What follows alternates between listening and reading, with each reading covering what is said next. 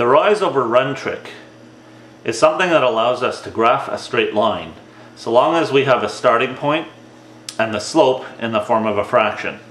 It's a very easy trick, so we'll do several examples to make sure that we're ready to deal with it no matter how the question is asked. First thing I'm going to do is graph my starting point. Here I have 3, negative 1. 3, negative 1 is right here. So I put a dot and I identify the point.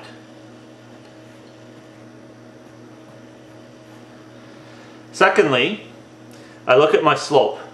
The numerator of the slope is the rise. The denominator is the run. Rise means a vertical distance, going up or down. If I have a numerator of positive 3, it means I have to rise by 3. So I choose to signify this with these little lines.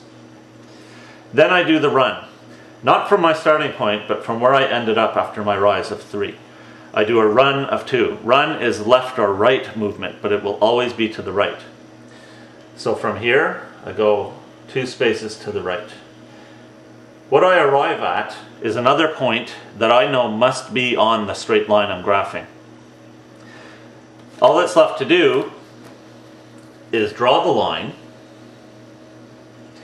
and I make sure to draw it all the way through the graph, not just between the two points and to identify the second point that I found.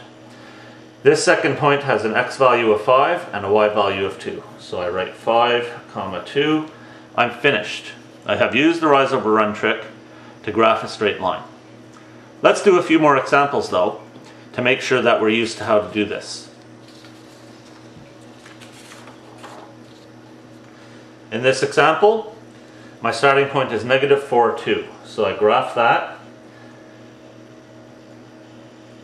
and I identify it. Then I do a rise of 2, which brings me up here, and a run of 9, which brings me all the way over here. I have found the second point. I get my ruler,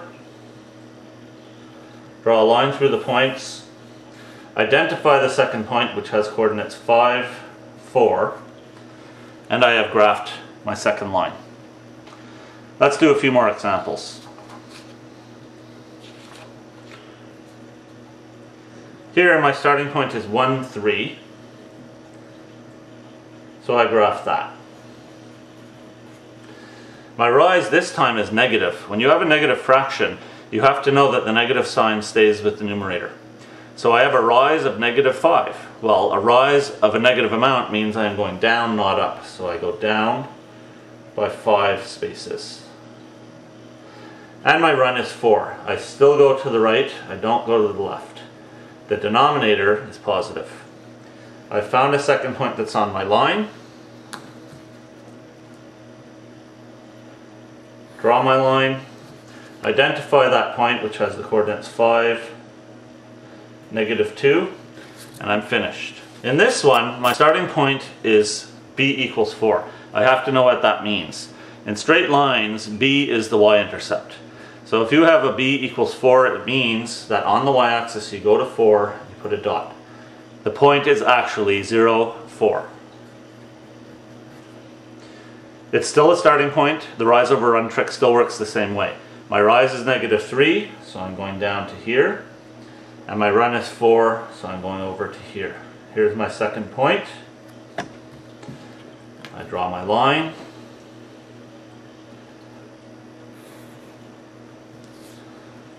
I identify both points on the graph and I'm finished. So being given a B should not complicate things at all. Here's one last example. In this one I've also been given a B and it's negative 2. So I know that the point 0, negative 2 is on my line.